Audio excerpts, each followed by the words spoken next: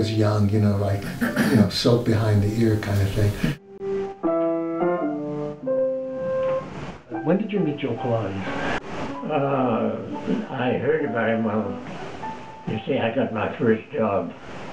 I talked my way in those days. It was easier to get a job than now.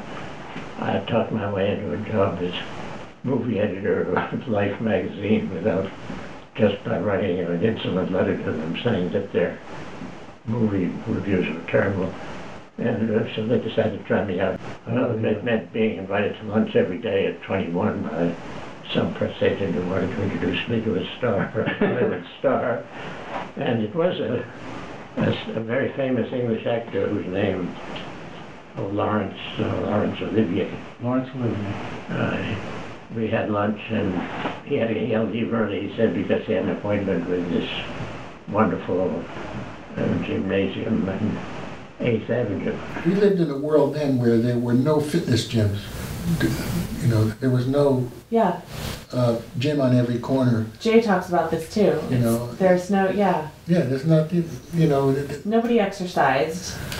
you had a, a gym was boxing, there were boxing gyms, there were weightlifting or bodybuilding gyms, hmm and there were dance gymnasiums for dance. I, thought maybe I, I'll look up that gymnasium someday. And uh, it took me 10 or 15 years to do it, but then one day, I, meanwhile there'd been a war and I was coming back and I was doing some uh, some work for for life. I was uh, maybe writing a book for life. And I thought, what the hell?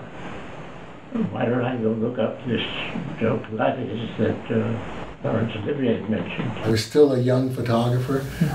Uh, I got drafted. I got my draft notice in uh, August of, of uh, yeah, August of 1961. I got my notice to report in 60 days for a physical, and if I passed the physical, be prepared to enter the, the army for two years. Right. Around the 7th of October, I got a call from Buddy Bloodgood, and he said, uh, "Are you in the army yet?" And I said, "No." He said, "Good. I have something for you. One day assignment in New York. Go over there, 8th Avenue, 56th Street. There's a guy over there. His name is Joe Pilates, and he he has a gym, and he's got these equipment that he's built." Uh, to exercise with, he said they're kind of like torture machines. He said you'll love it. I went there and I realized he was a, uh, as I've explained somewhere, he was a kind of cult figure um, with ballet, uh, ballet dancers. Right. He had a steady, steady diet of ballet dancers and a few and theater people, some actors and producers. But uh, they all, it was a private secret for these people. Everybody, if they kept it, it was, it was a, something, something special for them. Well, I came in and I enjoyed him very much. You know, he was a very, you met him just enough to know he could be a very enjoyable Yes. creature. And then I thought, well, why don't I write a little article about him? And I, so I sold it to Sports Illustrated. And One of our uh, freelance writers is uh, uh, working out there, and he wrote this story about this guy. It's That's a- Robert Wernick. yeah, and it's an interesting story. He said so. You go over there. Uh, Wernick is going to show up in the afternoon, and you can take his picture. then you called me up and said you're taking a photo. Would I come over? And I came over and And shot that took the picture. photos, and then it, that was that. I remember this uh, going up to the door, you know, and it, it had uh, Pilates. Uh, it said Pilates, uh, you know. Contrology or something. Gymnasium. I mean, you know. Uh, Did it say Pilates or Contrology? Because, you know, he called it. Well, it had. It, it, he didn't call his work Pilates until near the end, when he got lawyers involved in, in trying to market him, Oh, and they then they, they're the ones who started the uh, Pilates method, oh, okay. the word Pilates method. Yeah, But he called it contrology, you know. right, right. But of course, his his, his name was on the door because it was like you know J Pilates, you know. Yep. So we went in there, and then he showed up.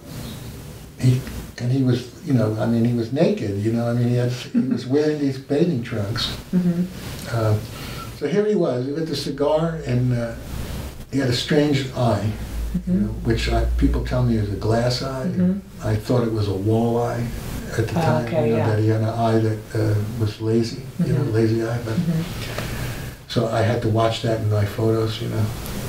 And he also had a funny way of. Did you choose to try to capture the glass eye, the his funny eye because they told you to make him look crazy?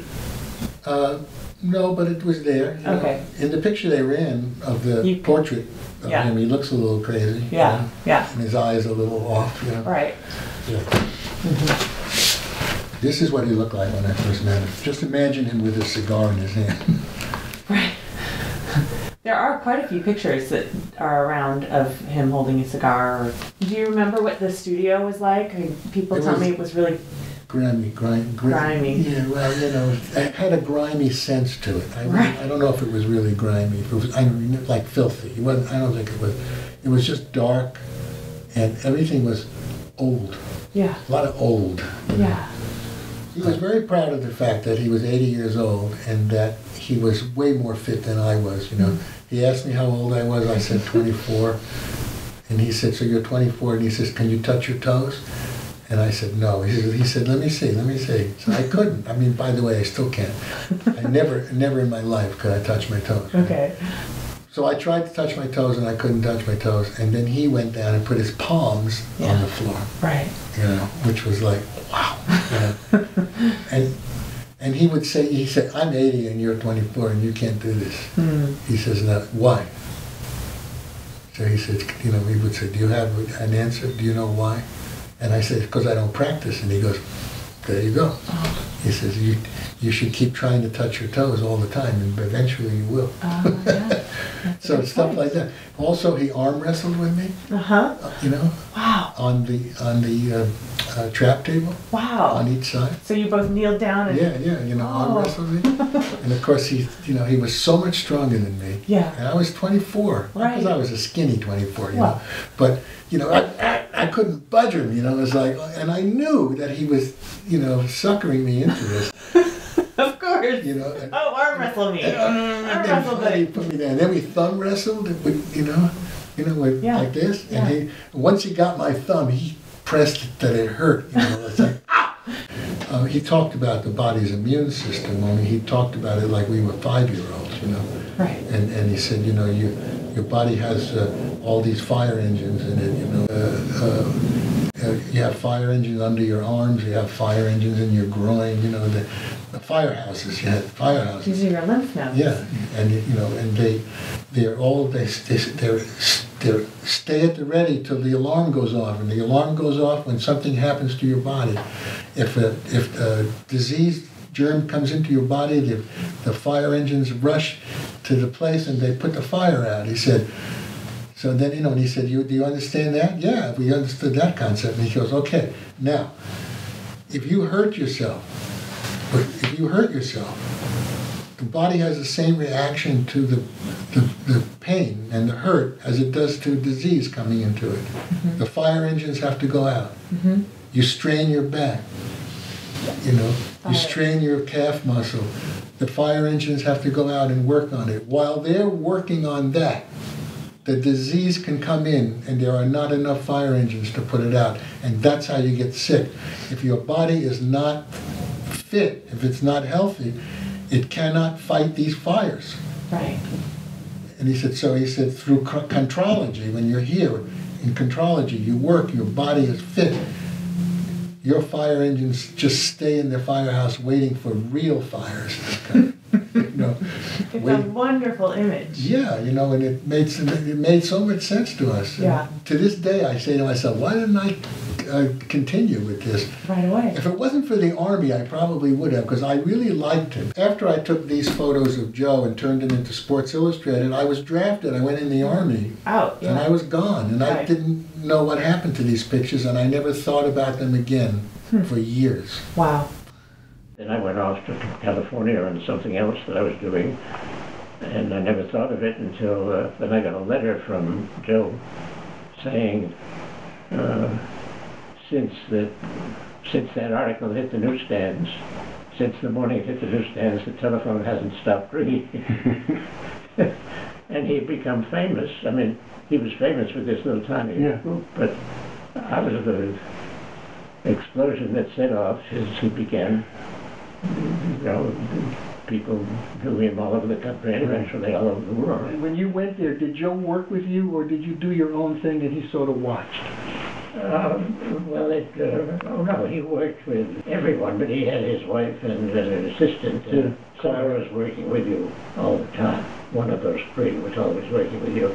And if it was someone else or if they told you, I mean, there's some things you did automatically. You laid down, you did the hundred, Right.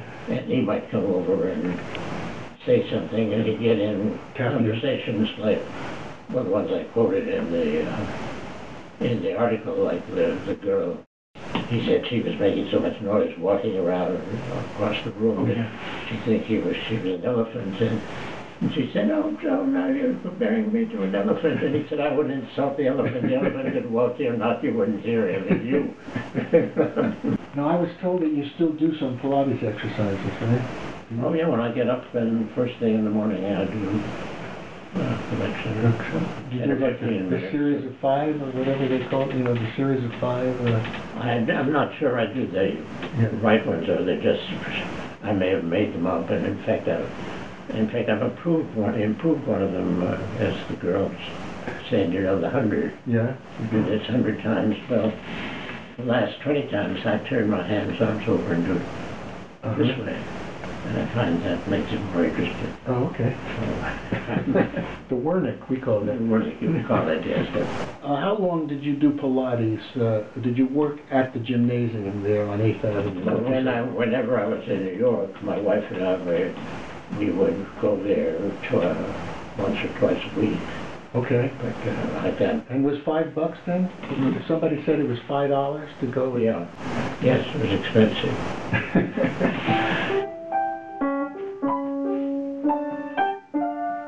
so people, he actually does He does. And then after lunch, he appeared with this turtleneck, complete sleeves and and a white thing, and we're convinced that Clara had said to him, you can't have the pictures taken at your age, you know, you're not 50 years old anymore.